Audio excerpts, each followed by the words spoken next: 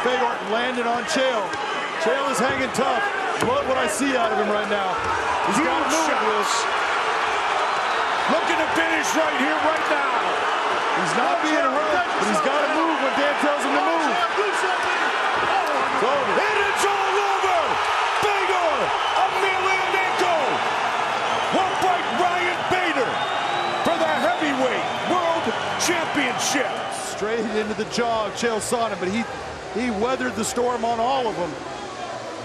He got hit early, he got hit hard, but he kept pressing forward, going after the takedowns. It just wasn't meant to be for him to stay on top of Fedor. This is a position, loses control. I understand what he was trying to do and snap Fedor over with him. It didn't work for him. He ended up taking some shots for it. And here, what we're seeing is Fedor landing those shots, and Chael is not responding. You hear Dan.